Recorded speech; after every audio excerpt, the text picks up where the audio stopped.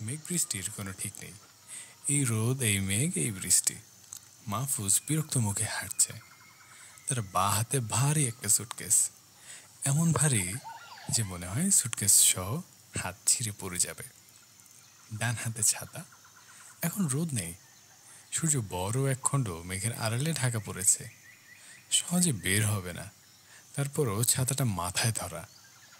মাহফুজ মাঝে মধ্যে চিন্তিত চোখে ডান হাতের সুটকেসের দিকে তাকাচ্ছে। সুটকেসের হাতলের অবস্থা সুবিধার না। হাত না ছিঁড়লেও যে কোনো মুহূর্তে হাতল ছিঁড়ে যেতে পারে। সুটকেস এত ভারী কেন তা মাহফুজের মাথায় ঢুকছে না। কাপড় চোপড়ের বদলে কি সীসা ভরা হয়েছে? মেয়েদের এই সমস্যা। তারা যখন সুটকেস গোছায়, তখন সুটকেস ভারী হচ্ছে কিনা হালকা হচ্ছে, এসব তাদের মনে থাকে না। কারণ এই সুটকেস হাতে নিয়ে তাদের হাঁটতে হয় না যে? মাহফুজ পেছনে ফিরে সীসা পরা সুটকেসের মালিকের দিকে তাকালো। মালিক না, মালিক আইন, উনিশ কুড়ি বছরের তরুণী। নাম তার চিত্রা। মেয়েটা কেমন গুটগুট করে হাঁটছে, যেন হেঁটে খুব মজা পাচ্ছে। মেয়েটার চেহারা তেমন কিছু না, দশে চার দেওয়া যায়।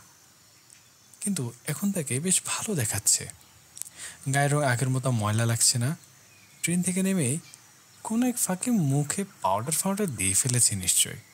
টিউবওয়েলে যখন মুখ ধুতে গেছে, তখনই মনে হয় কাজটা সেরেছে। চোখে যে কাজল দিয়েছে, সেটা বলাই বাহুল্য। ট্রেনে আসার সময় চোখ ছিল ছোট। এখন এত বড় বড় হবে কেন?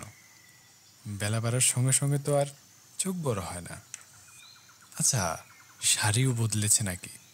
শাড়িটাও তো সুন্দর। সৌজের মধ্যে সাদা ফুল। এই মেয়ে দেখি সাজগুজে ওস্তাদ। এক ফাঁকে মুখে কোনো একটা কারুকাজ করে ফেলেছে। অমনি ঘুটে কুড়ানি থেকে রাজরানী। একটু আগে আকাশ মেঘলা ছিল।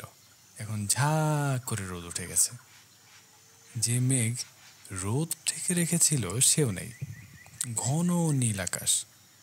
ভাদ্র মাসের চিকন রোদ চামড়া ভেদ করে শরীর রক্তের মধ্যে ঢুকে পড়ে। সঙ্গে সঙ্গে নেশা হয়ে যায়। কেউ যদি ভাদ্র মাসের রোদে কিছুক্ষণ থাকে, সে আর রোদ ছেড়ে আসতে চায় না। মাহফুজের মাথায় ছাতা।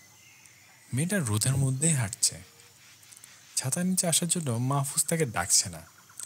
একবারই এত খাতির দেখাবার কিছু নেই। এই টাইপের মেয়েদের খাতির দেখালেই বিপদ। প্রথমে কোলে চেপে বসে, কোল থেকে ঘাড়ে ঘাট থেকে মাথায়। একবার মাথায় চুড়লে কার সাধ্য বলেন মাথা থেকে নামায়। এদের রাখতে হয় শাসনে।